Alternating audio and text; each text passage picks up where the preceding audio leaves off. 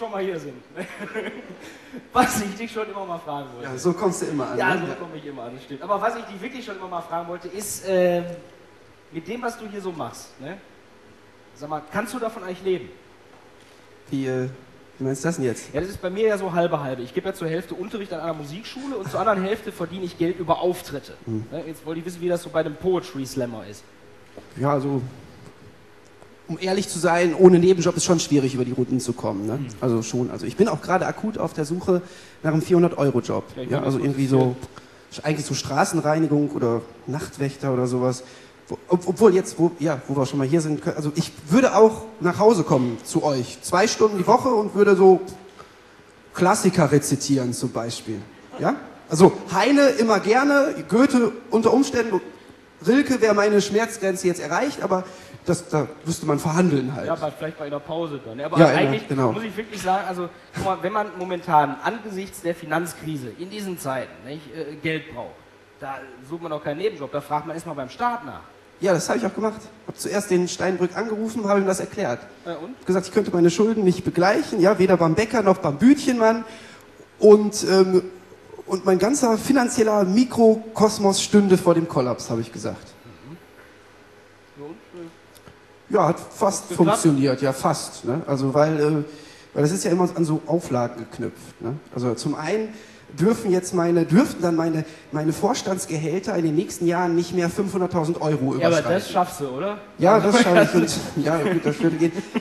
Und zum anderen hätte das Finanzministerium dann Mitspracherecht an den Inhalten meiner Gedichte für die nächsten 70 Jahre. Und da habe ich dann abgelehnt. Ja, das hätte ich auch abgelehnt, ganz Ja. ehrlich, muss ich sagen. Also, äh, ich stelle mir vor, romantische Liebeslyrik mit Textanteilen von Per Steinbrück. Ne?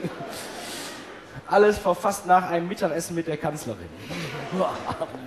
Ja, aber ich weiß gar nicht, ich würde trotzdem nochmal nachfragen, weil vielleicht haben die zumindest einen Nebenjob für dich. Ja, guck mal, vielleicht kannst du zum Beispiel, ich sag mal, als Gelddrucker nach Berlin. Ja, da brauchen die momentan Leute. Guck mal, so ein Rettungspaket, 500 Milliarden Euro, das ist nicht an einem Abend gedruckt, das muss erstmal hergestellt werden. ja, wie? Und du denkst jetzt, die drucken da ganz viele Scheine, oder was? Ja, meinst du, machen nur einen großen? Ja, das, das passt die ganzen Nullen überhaupt nicht drauf. Nicht? Eins, drei, Ja, das meine ich nicht. fünf. Nein, ich meine nur, äh, die drucken doch da jetzt nicht irgendwie im Keller vom Bundestag 500 Milliarden Euro, oder? Also ich meine, Das ist- ja, ich meine, das ist doch mehr so imaginäres Geld, wenn ich das richtig verstanden habe. Wie jetzt imaginäres Geld. Ja, also von den 500 Milliarden existieren eigentlich nur 100 Milliarden tatsächlich und 400 Milliarden sind mehr so Garantien, so Bürgschaften für den Handel der Banken untereinander. Das verstehe ich nicht. Ja, pass auf. Also wenn jetzt eine Bank sich von der anderen Bank Geld leiht, um was zu kaufen. Ja, sagen wir So. mal, die äh, Hypothekenschulden von 1500 pleitegegangenen US-Bruchbudenbesitzer. Was Was Banken eben so kaufen. was Banken so halt, ne? kaufen. Ja, genau. So, und jetzt geht da irgendwie was schief, ne? und dann ist das Geld meinetwegen futsch. Ja, und, ja, und dann äh, kann die eine Bank der anderen Bank das nicht mehr zurückgeben. und 1500 gepfändete Bruchbuden wollen die nicht. Das ist richtig, ja, genau. Und dann, siehst du, genau an der Stelle würde dann der Staat mit so Garantien, mit so Bürgschaften einspringen. Aber dann ist das doch kein imaginäres Geld mehr. Nee, dann ist es echt. Also in dem Moment, wo es wirklich äh, gewollt wird, also wo wirklich danach gefragt wird, ist es dann tatsächlich da. Ah, Dann ist das mehr so potenzielles Geld, sagen wir mal. Ja, stimmt. So um die, um die Schuldner und die Geschäftspartner zu beruhigen. Ja, aber ich meine, das ist doch genau das, was wir hier in Oberhausen momentan benötigen. Ja. Gibt's aber nur für Banken. Stimmt. Ja, aber das ist ja an sich auch kein Problem. Ne?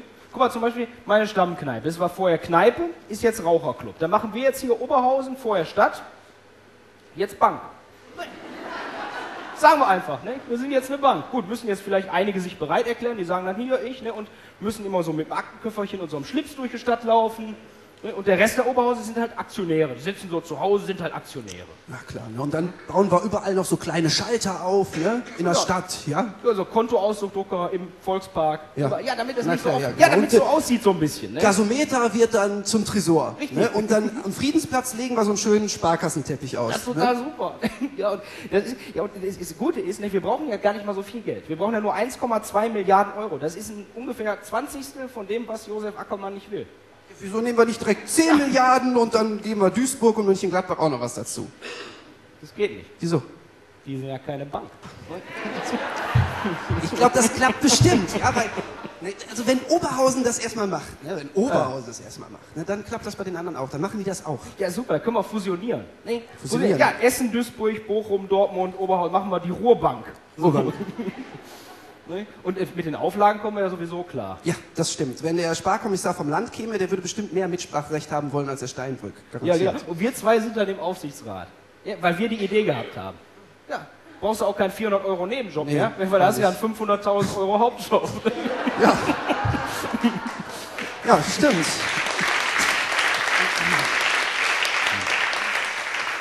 Ja, obwohl, also mal ganz ehrlich, ich glaube, da gehe ich doch lieber zur Straßenreinigung. Ja, also alleine mache ich das auch nicht. Ne? Wieso denn? Ach, weißt du, so ein Job bei der Bank, Ja. das hat mir einfach ein zu schlechtes Image. So.